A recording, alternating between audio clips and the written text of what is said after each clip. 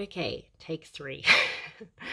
I thought I would hop on here today and do a quick little review of this book, which is the first book I read in September, which is The Art of Witch by Fiona Horne. So, first off, the cover. It is this luxurious black velvet um, hardcover, which it's actually really fancy. It's um not what I was expecting, and it's got like gold stamping, so it's uh, very lush, very luxurious not something I would expect from a 20 something dollar book. So that is a plus. All right. I wanted to read this book because I heard lots of Australian witches talking about how it was very different from other books that they had read. And of course, it's Fiona Horne, great Australian witchy author. So I had to take a look. This is a library book because uh, I'm traveling at the moment. And all of the witchy bookshops were out of stock. So I was lucky enough to find this in a library that we just happened to be driving past. Um, yeah, so it's a bonus. Okay. Now, into the book. So, it's divided into three parts. The first part is like her talking about her life, how her practice has changed. Um, whereas part two is then going into the details of what she does, um, which can be a little bit preachy. Um, there's a lot of stuff like, you know, eating super healthy, eating within um, two, food which is only grown within two miles of your um, where you live, which is impractical for us city witches. There's definitely no way that there's any food grown within two miles of where I live in inner city Sydney. But um, yeah, so it's not a perfect book, but I did really enjoy it. So, all right, pros. Um, and it is quite a pretty little book. The paper's really nice. There's lots of little, um, uh, like, sort of not quite illustrations or images, but like these little stamps through. It's quite nice. All right, so. Uh, okay, so pros. There's a few things in here which I think you'll appreciate. So this one here, which is from the sort of like the second part where she's going into detail.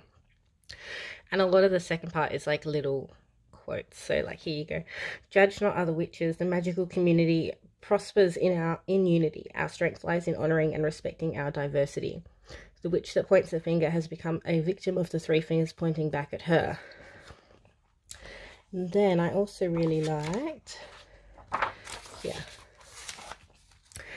less is more. Fewer steps equals efficiency. If you can see a way to simplify your practice, then do so. Potency is enhanced by simplicity.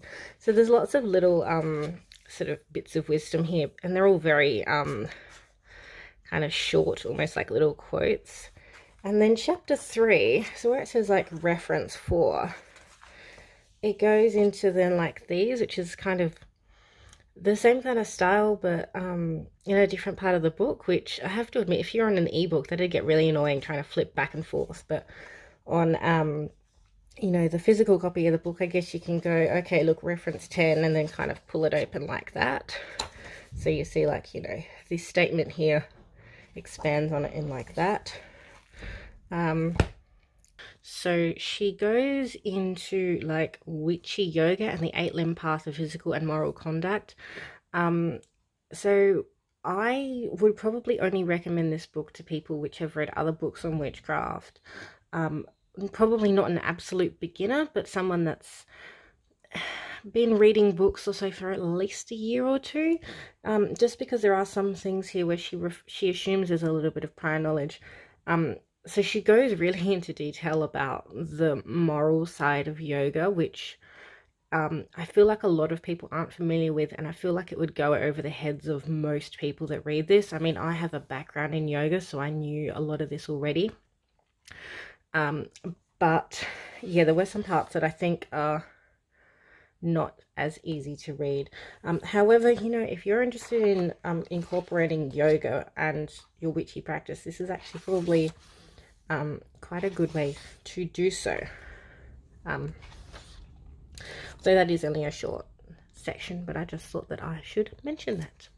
So continuing on, um, the takeaway from the book that I got was that she um, very much wants witches to think more about how they consume, how they live, and being less about um, buying all the things and more about connecting with the earth and protecting the earth. She talks about being guardians of the earth, um, which is a sentiment that I really appreciate. However, how I think the book could be improved, I think it comes across a little bit preachy. Um, like I said, there's a few things there which are just impractical for a lot of people. Um, she talks a lot about being sober from alcohol, which, um, you know, that's a personal choice. So there's a few things like that which come across as a bit preachy. Um, and I can see why some people wouldn't like that, so I would probably have changed that. Um, talked about favourite little quotes and prose from the book. What would I give this book a rating out of? I feel like, I, I mean, I did really enjoy it. I think everyone should read it. It's a really short book. It's only a hundred and something pages. How long? There you go, 150 pages, not even.